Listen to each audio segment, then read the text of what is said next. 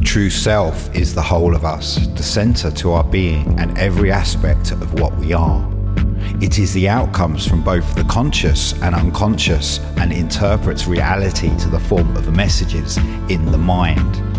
It is in the physical world where we meet the addict, the critic, the outcast, the destroyer. We have these inner archetypes, these symbols of the world built into us. It is the framework to this holographic reality. These archetypes will challenge us, become our friend, and they will ultimately teach us about the true self and beyond to who and what we are.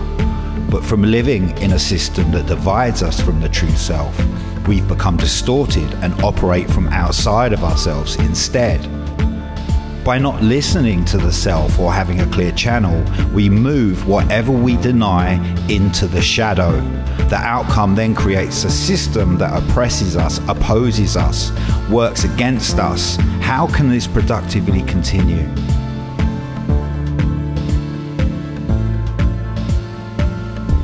As the astrological cycles turn and we move into a different era on Earth, we must make this coming golden age for the many and not for the few.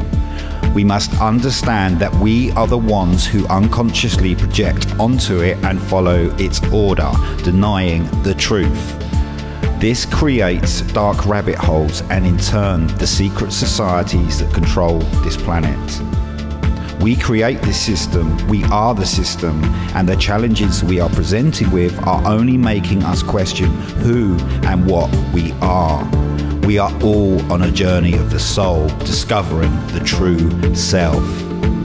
As we mainly operate within a five sense reality, we are limited within our perception, but we have other powerful senses that we are still developing and yet to discover. Over the years of living on Earth, we have limited ourselves and have become programmed by this physical reality, when actually this is only a small part to what we are, a small part but still vital and a key to human growth.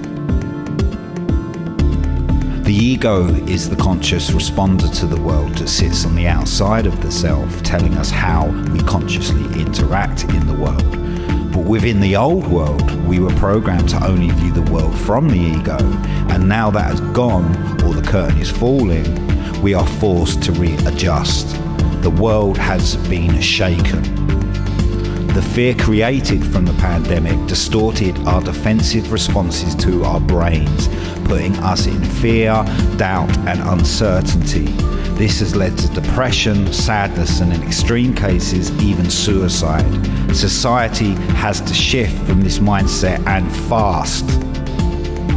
To fulfill the true self, we must find a life of balance, stillness, and be in this moment. We are born onto a planet which is built so we can tune into this vibration. We are a natural conductor and have a quantum field of energy around us. Whatever designed the human or however we have been created, our DNA sequence is unique and has the ability to connect to the Earth's quantum field. This is Gaia, which activates our higher consciousness and connects us with the universe. Nature is a gateway on our earth. Through it, we can observe the true self, separate from the perspective of our ego.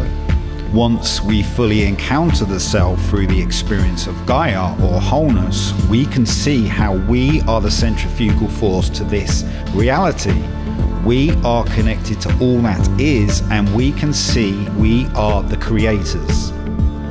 Once aware of the true self, you will always know your spiritual truth and be guided with your natural psychic awareness to lead you down the right pathway for you. Observing your own thoughts and perceptions is an empowering, powerful human tool we all have access to. But so many have lost touch because they're operating from their egos. Egos can come in the form of wealth and abundance, a celebrity lifestyle, but it can also come from poverty, living as the victim. It works either end of the spectrum.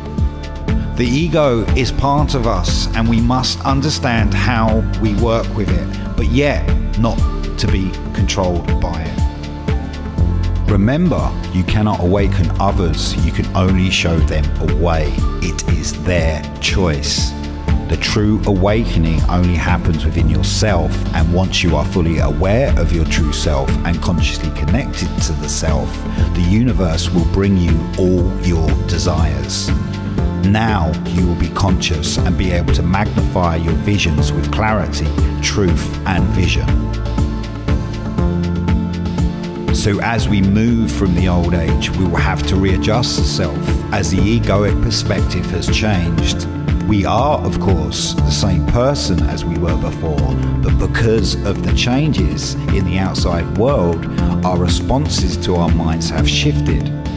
This has psychologically changed core parts to our human psyche as we have been psychologically attacked and most do not even know what's happened. So few are willing to do the work, but the starting point is embracing truth. If we deny the truth, we will only push it further into the collective shadow, which is why we are at the point we are at now. We live in someone else's matrix set of rules because we have chose to become separate from the true self. From this, we have invited someone else in, allowing them to control our movements and even our thoughts. Through the denial of the true self, we are allowing synthetic AI systems and psychopathic leaders to dictate reality to us. We are stumbling in our evolution. This is non productive, non intuitive, and is leading us to a dead end, removing us further from our journey back to the stars. We have beings that wish to control the world and live forever. They do not care for you and me. But we have to remember it's only their business plan, their own vision. Whether dark or light, they have used this same energy to attract their reality, which we all have access to when we are connected to our true selves. This is a power so strong that humans have ignored it for many years in fear of seeing themselves in the darkness. We fell asleep to feel safe, but we are star travelers just passing through. We live this life and we move on to many more. This is a continual loop in which we direct and have the ability to steer life in whichever direction we want. The consciousness or quantum field is a unified field not yet understood within our science, but it is the mainframe to this reality. So, how are we living by a science that it's only a fraction of what is actually existing? Human evolution is being blocked by a force which fears its development. We cannot continue with the power that dictates to us. It is a wasteful, dead energy that human beings do not wish to serve anymore. We have the ability to enter a golden age with a free society and one that collectively grows together, but also an age in which we could reach a dystopia. To take us to the golden age, machines will have to become equal or fulfill basic human tasks which will free human minds to think on this other level of being. Otherwise, we will be taken to the totalitarian dystopian world of using machines to restrict and monitor human behavior. This would be a very sad outcome in a world which has so much potential.